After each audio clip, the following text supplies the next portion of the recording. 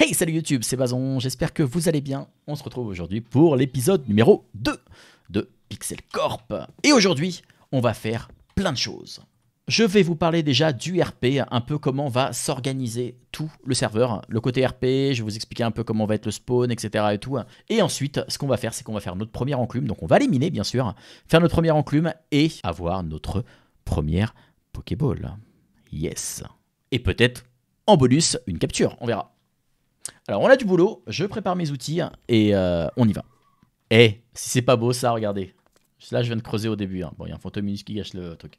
Premier filon que je trouve de fer, regardez-moi ça, c'est un dense filon.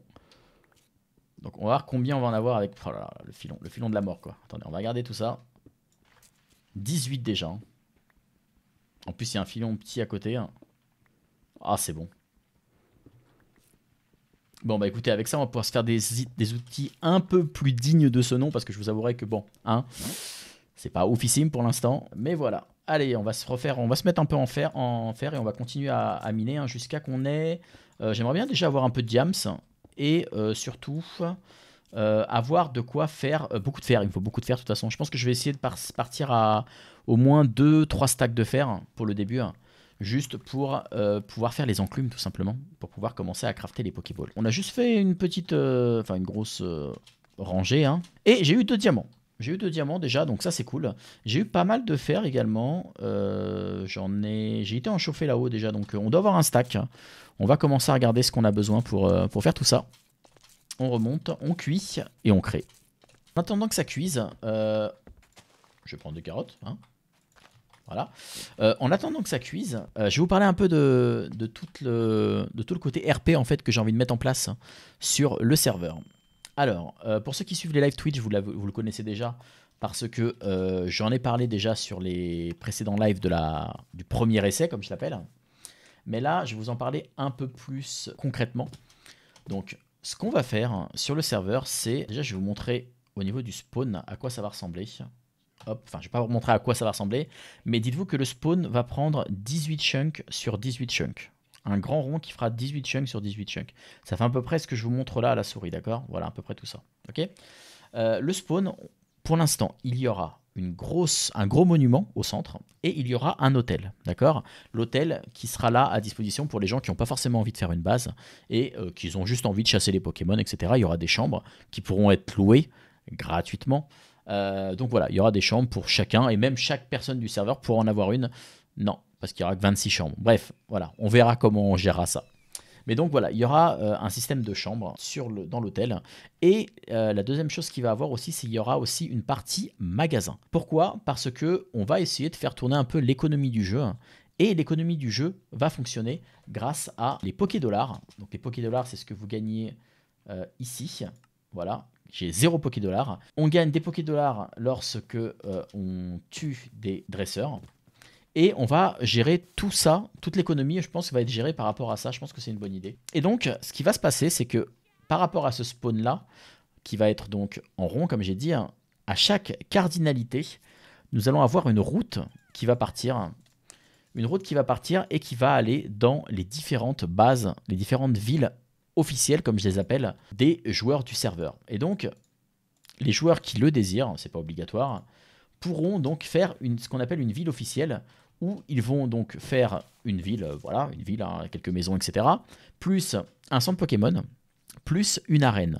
Et donc, ce seront, ils désigneront, donc soit eux, soit une personne avec qui ils ont fait l'île, euh, euh, ils, désigneront un champion d'arène. Lorsqu'on le voudra, on pourra aller donc dans les arènes des personnages et on pourra les, des joueurs, des joueurs du serveur, et on pourra les défier. Et chaque personne du serveur aura un badge qu'il transmettra à la personne si, euh, s'il le bat, tout simplement. Les champions d'arène ont le droit de définir des règles, voilà, après, on va rester quand même dans la cohérence parce que sinon, je pense que ça peut être compliqué de pouvoir, euh, faire les arènes de tout le monde, mais bon, ça, on verra. Et donc voilà, c'est tout un esprit comme ça. On sera comme dans Pokémon, c'est-à-dire que par exemple, si le spawn est là, il y aura une route qui va aller là. Par exemple, là, il y aura un village. Hop, il y aura une route qui va partir là, une route qui va partir là. Ce sera que des routes verticales, horizontales. Voilà. Mais en fait, ça fera un énorme quadrillage et qui donc donnera une map un peu comme dans, comme Pokémon. Voilà à peu près euh, euh, le côté serveur. Il y aura des events, il y aura plein de choses, etc. Mais ça, on aura le temps d'en parler plus tard. Allez, c'est parti pour notre première Pokéball.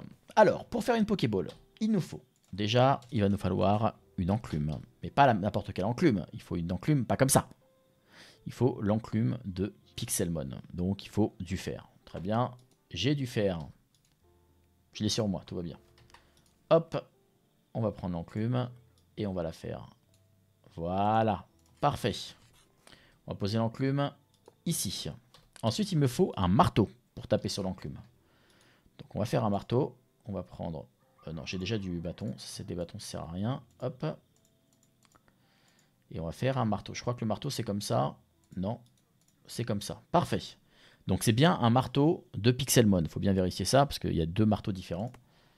J'ai pris ça. Ensuite, on va prendre le fer. on va réussir. Hein. Et on va prendre le fer et on va faire ça. Et là, comme ça, j'aurai des disques de fer. Voilà. Les disques de fer sont là. Et ensuite, j'ai fait chauffer ici euh, des noix grumes. Pour l'instant, j'ai que ça. Et on va prendre les trois là pour faire des couvercles de Pokéball. Et maintenant, ça va être une avance rapide, je pense, parce que ça va être long. Et maintenant, on pose, voilà, le, les disques au-dessus. Et avec le marteau, on tape. Non, pardon. Avec le marteau, on tape. Et on attend. Et c'est parti.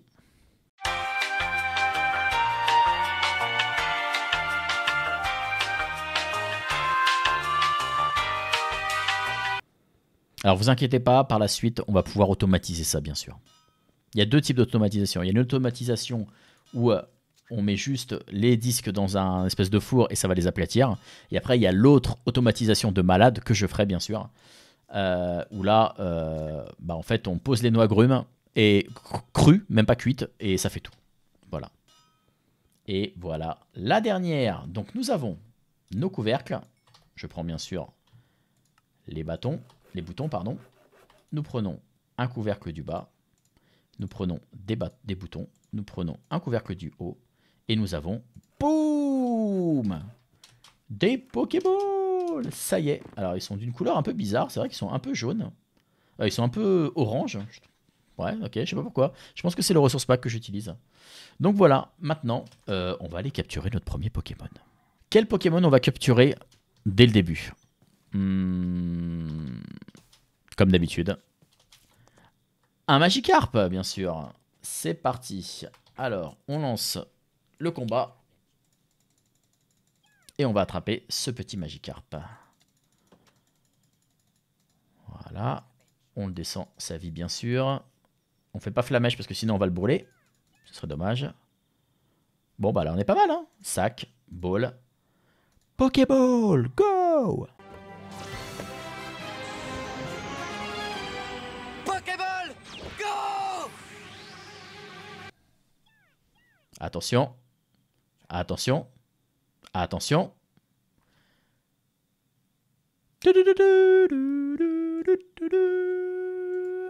Et nous avons notre premier Pokémon capturé C'est le pire.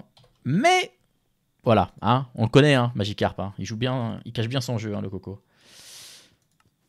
Ok, très bien. Bon, bah maintenant, il n'y a plus qu'à monter un petit peu ses Pokémon. Et sous cette pluie battante, sous cet orage, pardon, Salamèche évolue. Salamèche évolue en reptincelle. Ça y est, nous avons notre petit Salamèche niveau 16. En tout cas, merci à tous d'avoir été là. On se retrouve pour un prochain épisode.